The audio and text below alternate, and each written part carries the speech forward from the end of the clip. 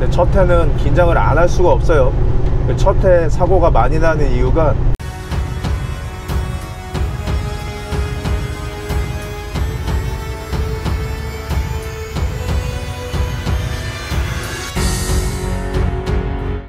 안녕하세요. 캐나다 트럭커 군복남입니다. 어제 밤에 메디슨에 와서 비로 실었고요. 지금 시간 6시 30분 8시간 리셋 끝나고 이제 출발하려는데 어제 새벽부터 비가 오더니 눈으로 바뀌었습니다. 뭐 눈이야 저희한테는 뭐 피할 수 없는 운명이지만 지금 여름이 코앞인데 한방 눈이 펑펑 내리고 있습니다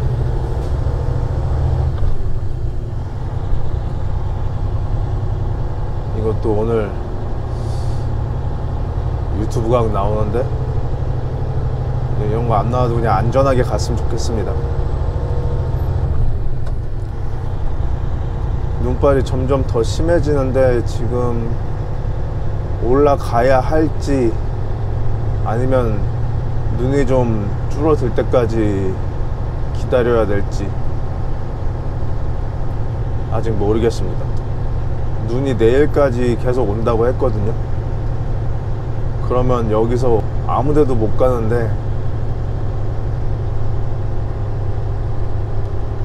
지금 온도는 영하 1도라 올라가다가 freezing rain이 또 오면 지난번에 제가 10시간 고립됐던 그 하이웨이로 또 지금 가야 되기 때문에 뭐 어디 차를 세울 수도 없습니다 지나고 나면 그래서 일단 지금 출발은 하는데 이제 메디슨햇에서 나가보고 시야가 확보가 안 되면 그냥 메디슨에 대기하고 있어야 될 것 같습니다. 또 저번처럼 아무것도 없는 고속도로 위에서 내일까지 또 대기해야 되는 상황이 될 수도 있으니까 겨울이 끝난 줄 알았는데 올해는 날씨가 미쳤네요 눈이 오는 거는 매년 오는 거니까 상관은 없는데 이제 끝난 줄 알고 거의 마음 놓고 있었거든요. 지금 워셔액도 제가 여름용으로 벌레 더 잘 닦이는 걸로 다 바꿔놨는데 뭐 온도가 영하 뭐 2, 3도 그 정도는 괜찮은데 한 5도 10도로 떨어지게 되면 또 워셔액이 또 얼어버리니까 지금 그게 걱정입니다 운전하는 거는 이렇게 걱정이 되진 않아요. 조심히 가면 되니까. 그리고 지금 비료를 실은 상태라 그렇게 미끄럽진 않습니다. freezing rain만 안 오면 되는데 올라가는 길에 언덕이 한 3, 4개가 있는데 그거만 잘 넘어가면 됩니다. 아무튼 오늘도 눈 속에서 조심 운전하도록 하겠습니다 오늘은 돈 버는 게 중요한 게 아니라 무사하게 회사까지 가는 게 목표입니다 출발!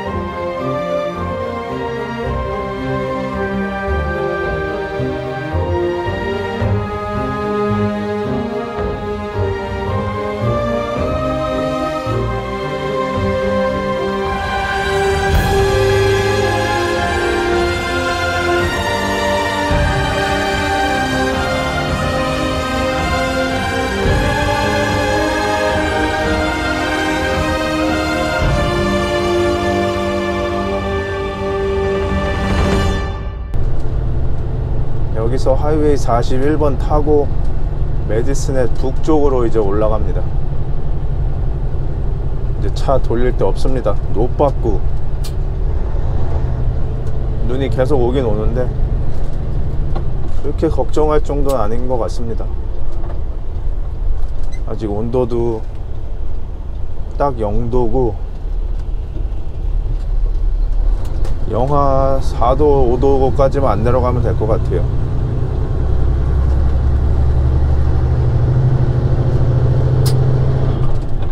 그저께까지 온도가 영상 31도까지 올라가서 아 더워 진짜 덥다 이 생각하고 있었는데 이 덥다 얘기하니까 또 고맙게도 눈을 보내주네요. 시원해지라고. 이렇게 안 고마워도 되는데 아우 너무 신경 써. 다이나믹한 유튜브 생활을 하라고. 어이구 아이고 아유 자 여기서 1시간 북쪽으로 올라가서 또 사스카치안 야소 오른쪽 너 왜 나와 있는 이쪽까지. 어떻게 나왔어? 뭐 가끔 나옵니다 쟤네들은. 방법은 모르는데 그냥 비집고 나오나 봐요. 아무튼 오늘도 안전하게 도착하도록 하겠습니다. 출발! 아 이거 북쪽으로 올라갈수록 점점 추워지니까 길이 또 얼었네요 아 할 말이 없다. 진짜 캐나다 날씨. 캐나다가 이런 곳입니다. 여기서 또 저는 일을 해서 밥을 먹고 살고요. 좀 와이퍼가 다 얼어서 닦이질 않아요. 지금 습도가 너무 높아서 그냥 얼어붙는 겁니다. 이게 0도 1도 사이에서는 안 얼어붙는데 지금 영하 1.5도까지 내려왔거든요 1도 차이가 이렇게 큰 변화를 만듭니다. 누가 보면은 무슨 일타 강사 동영상 강의하는 줄 알겠어. 여러분 여러분의 노력 차이가 이렇게 큰 겁니다. 뭔 개소리야 갑자기. 또 긴장하니까 또 입이 막 털리네. 지금 입 터는 게 문제가 아니라 저 앞에 저번에 10시간 기다렸던 그 rest area까지 또 가서 와이퍼 털고 가야 됩니다. 입을 터는 게 아니라 오늘 생각지도 못한 눈이 와갖고 눈이 온다는 얘기는 있었는데 눈이랑 비랑 섞여서 온다는 얘기가 있어갖고 별로 이렇게 긴장은 안 했어요 5월에 영하 이렇게 2, 3도 될 줄 누가 알았나? 올해는 진짜 날씨가 이상합니다. 한국도 그렇고 캐나다도 그렇고 전 세계가 다 이상한 것 같아. 아, 코로나도 이상하고 도대체 코로나는 언제 끝나냐고요. 저는 6월에 백신을 맞을 거지만 백신 맞으면 한국 갈 수 있나? 아 올해 한국 갔어야 되는데 원래 작년에 저, 저희 집사람이 한국 갔다 오고 올해 제가 한국 가고 저희가 2년에 번갈아 가면서 아 제가 저희 와이프를 2년이라고 부른 게 아니라 2년마다 저희 집사람이랑 이렇게 번갈아 가면서 한국을 왔다 갔다 하기 때문에 좀 필요한 것도 사오고 서로 안 보면 또 숨통도 좀 트이고 뭐 안 보는 거 뭐 주말마다 보기만 하지만 저희는 주말 부부예요. 어, 오히려 제가 한 2주씩 집에 휴가 내서 있으면 저희 집사람이 어색해합니다. 뭐 불편한 건 아니고 그냥 서로 어색해요. 그래서 더 싸웁니다. 서로 어색해갖고 처음 만난 사람처럼 같이 산 지 지금 17년인데 2주 같이 있으면 서로 어색해요. 처음 만 애틋해 애틋해 처음 만난 사람처럼 무사히 rest area에 도착했습니다. 지난번처럼 이렇게 긴박한 상황은 아니라서 괜찮습니다. 지난번에는 아예 길이 안 보였잖아요. 앞에도 안 보이고. 뭐 이 정도야 뭐 감사합니다. 와이퍼는 털면 되는 거고.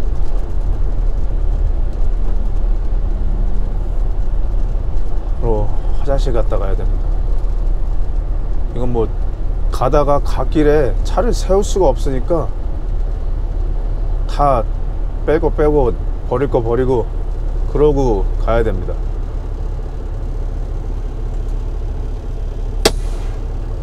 밥도 좀 먹고 가야 되겠네요. 아침에 눈 더 쌓이기 전에 출발하려고 바로 출발했더니 배고픕니다. 와이퍼가 봐 이거. 와이퍼가 이렇게 다 얼어 붙는다고요. 왜안 닦여 이렇게. 뭐 운전은 할 수 있는데 점점 더 심해지면 아예 앞에가 안 보입니다. 이 얼음이 이렇게 다 껴갖고 이 얼어 붙는 거예요. 아무리 좋은 와이퍼를 사도 똑같습니다.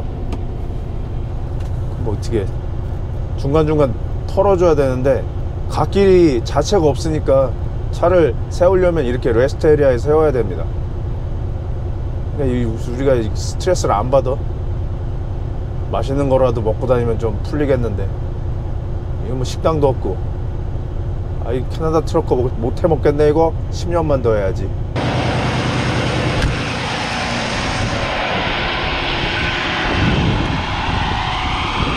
차봐 이거 그날의 감동이 다시 오지 않습니까?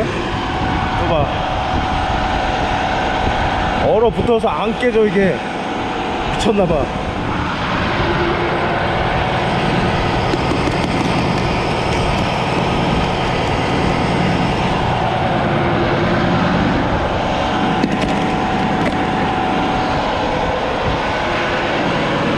다 얼음이 얼어붙은 겁니다. 이봐. 이 정도라고요 캐나다가. 이 5월이 이 말이 되게 어우 추워 들어가야 되겠다. 오늘의 메뉴는 오랜만에 seafood 파티의 오징어 다리입니다. 집에서 오징어 다리 몸통은 집에서 다 먹고 저만 다리만 먹으래요. 뭐 그러지 뭐. 다리만 넣어도 맛있습니다. 눈물이 자꾸 나지? 이러고 자꾸 살아야 되나? 이거라도 먹고 살겠습니다. 오징어 라면입니다. 잘 먹겠습니다 국민의 정성 어린 이 음식을 감사히 잘 먹겠습니다. 음식물을 남기지 맙시다. 오징어 라면 오징어 다리 라면. 오징어 다리. 하나 밑에 가라앉았나 보네. 통통해 그냥. 오징어 다리입니다. 그 PC방에서 파는 오징어 다리 그거 같은데? 원산지는 모르겠습니다. 그리고 오늘 반찬은 그냥 양파 고추장. 이거면 돼요. 아 국물이? 아, 어, 어, 어, 아 너무 맛있어. 오징어국 같아. 아, 아 끝내준다. 요새 한국에 오징어가 비싸다 그러던데? 캐나다는 음식값이 이렇게 변하지 않습니다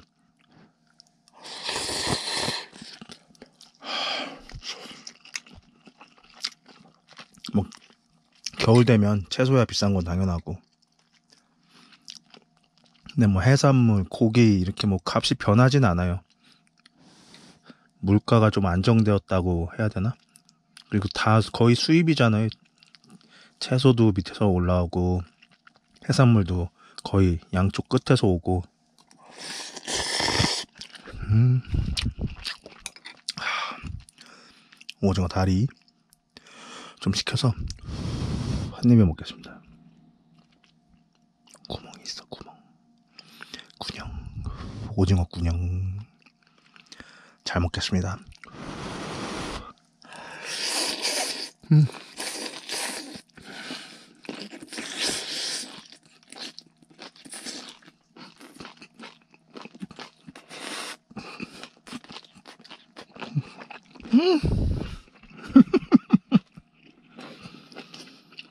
오징어 한 마리 통. 음, 여기 양마.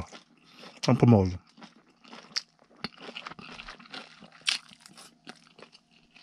음.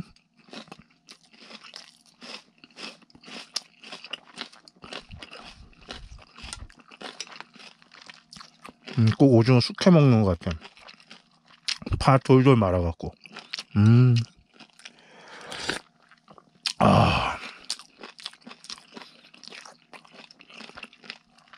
아, 오징어 숙회 파 돌돌 말아먹으면 맛있는데. 살짝 삶은 거. 아, 또 초고추장 찍어갖고 그냥 소주 한 잔. 아우, 맨날 소주 생각만 나, 어떡해. 음, 양파 한 먹어야지. 음, 맛있게 잘 먹겠습니다. 밥 간단하게 먹고 바로 또 출발합니다. 와이퍼만 털었어요. 깨끗해졌죠? 아, 잘 닦여 한 번만 털어도. 근데 뭐 와이퍼를 털고 싶어도 차를 세울 수가 있어야지. 자 여기서 1시간 북쪽으로 이토니아까지 가야 되는데 이게 이제 마지막 rest area입니다. 지금 와이퍼를 털어도 30분이면 이렇게 됩니다. 이게 눈이 영하 10도에서 오는 거랑 영하 1도에서 오는 거랑 이렇게 달라요. 뭉치는 정도가. 저 앞에 한 15km 정도 더 가야 되는데 저 스탑 사인 나오면 거기서 내려서 털고 가야 됩니다. 지금 간신히 운전하고 있어요. 갓디나기는 갓길도 없어서 조심해야 됩니다. 겨울이 끝까지 가기 싫다고 아주 난리를 치네요 그냥 이럴 때는 정신 집중만 하면 됩니다 지금까지 잘해온 대로 계속 잘하면 됩니다 앞이 아예 안 보이면 차라리 여기서 차를 세우고 털고 가는 게 난데 지금 오르막 내리막이 계속 반복이라서 저를 추월하는 차량들이 위험합니다 저를 추월하려고 올라왔는데 오르막에서 갑자기 반대편에서 차가 나오면 브레이크를 밟던가 아니면은 핸들을 갑자기 급하게 틀면 미끄러져요. 제가 지금 뭐 천천히 가는 것도 아니고 지금 90입니다. 90.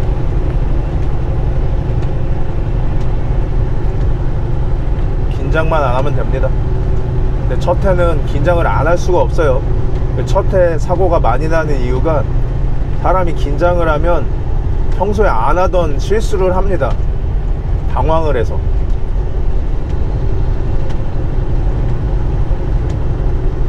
맞은편에 이렇게 차가 언덕 지나자마자 바로 나오는데 여기는 갓길이 없어서 잘 맞춰야 돼요. 뒤에 트레일러가 안 빠지게. 오늘은 다행인 게 바람이 이렇게 세진 않네요.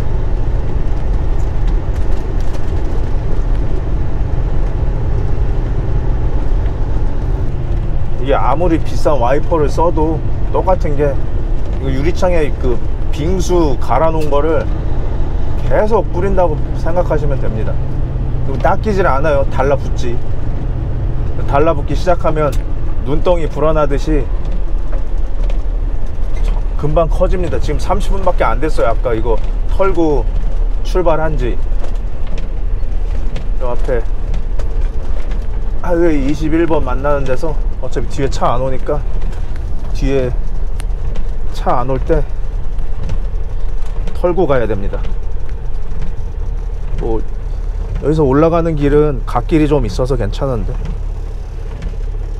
만반의 준비를 해야죠 그리고 지금 이게 눈이 많이 오는 게 아닌데도 그냥 다 달라붙는 겁니다.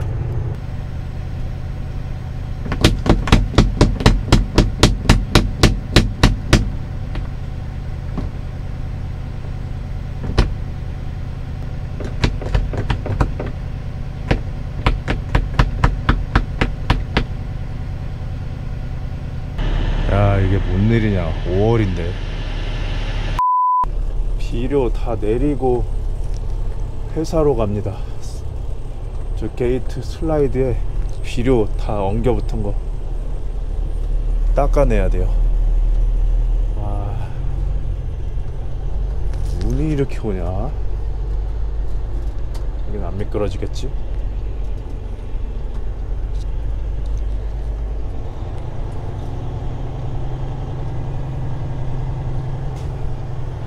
내리는데 1시간 30분 정도 걸렸네요. 이게 비료 내릴 때 눈이나 비가 오게 되면은 저 커버를 다 덮고서 조금씩 내려야 돼서 오래 걸려요. 저 요소 비료가 눈이랑 비랑 한 방울이라도 만나게 되면 들러 붙습니다. 그래서 눈덩이처럼 커져요 그럼 못 쓰는 겁니다. 버려야 돼요.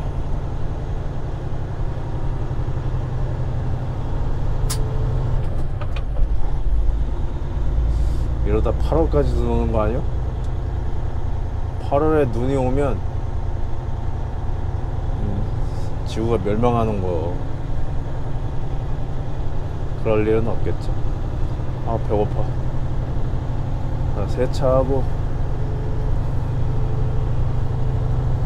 저희 회사 농장으로 밀 실으러 갑니다. 캐놀라 싣고 사스카툰으로 가, 가는 일이 있었는데 제가 그냥 요 동- 동네에 있는다고 했습니다. 갔다가 다시 돌아오는 일이 없어서 가도 오는데 3시간 빈차로 오면 어차피 기름값 제가 내는데 생각해서 요 동네 일 한다고 했습니다. 뭐 이렇게 차이는 나진 않아요. 어차피 버는 돈은 비슷합니다. 여기서 오늘 두 개 하나, 여기서 하나 씻고 사스카툰 갔다가 내일까지 기다렸다가 내리고 다시 빈 차로 오나 그냥 여기서 두 개 하고 내일 세차 하고 트럭 점검하고 일찍 집에 가는 게 낫습니다. 이렇게 비료 시즌은 끝났습니다. 방금 내린 비료가 올해 이 spring rush라고 하거든요.